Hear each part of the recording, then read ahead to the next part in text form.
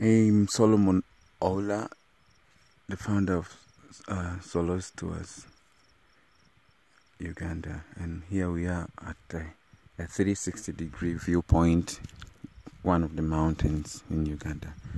On this side, on your left, you can see Uganda, and if I turn the camera on the other side, right behind this, uh, you enter Kenya and you have depressions on one side on, on top here at the peak it's flat.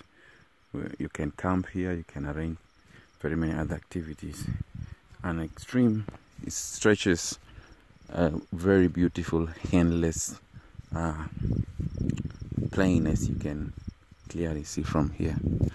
I would love you to have the same experience.